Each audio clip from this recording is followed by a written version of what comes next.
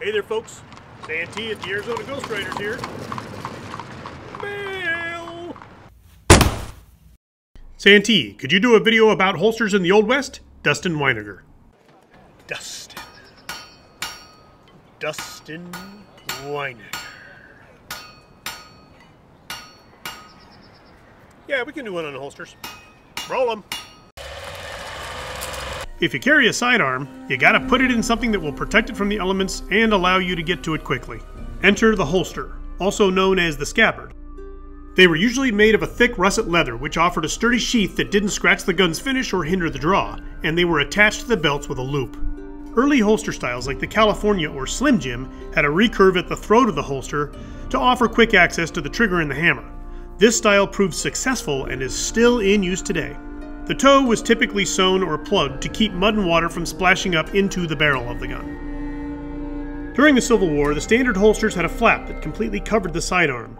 Many veterans who migrated west after the conflict kept these holsters and modified them for the new threats on the frontier. After all, the plan was to shuck that gun quickly and get to work.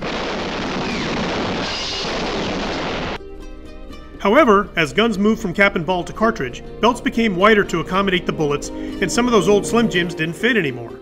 Frontiersmen needed a holster that could fit a variety of belts. In came the Mexican loop holster. It had a flap, called a skirt, that flipped over the belt and reconnected to the holster with loops. This style could fit the width of the new belts and over a strip of cartridges if need be. These holsters were available in catalogs and made oversized so that they could fit a variety of guns. In the Old West, some towns had a law forbidding the carrying of firearms. Well, Westerners didn't like going anywhere without a gun, so many would conceal one in a pocket. John Wesley Hardin, a notorious gunman, had leather linings sewn into his jacket pockets for this very purpose. Don't make me angry.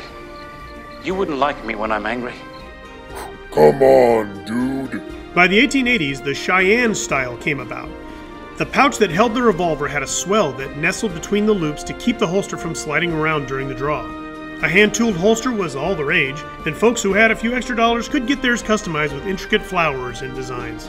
Today we have a resurgence in gun leather thanks to all the shooting sports and reenactors. Leather workers are putting out period correct leather as well as catering to the modern competitors.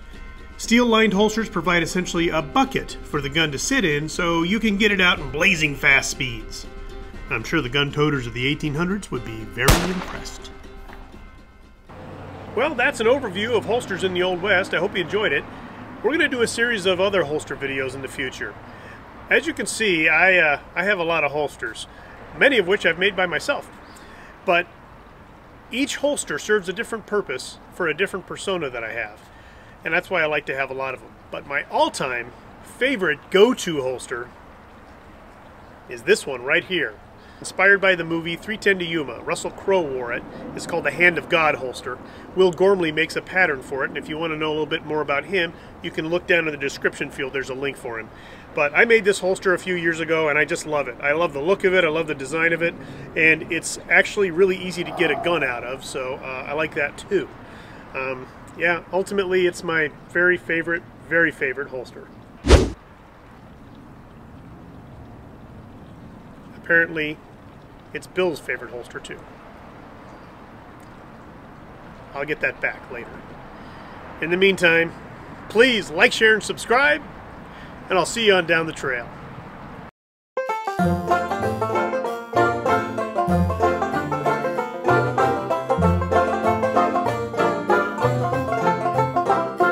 This one is, I, I just love the look of it. I just love the look of this holster. I just love it.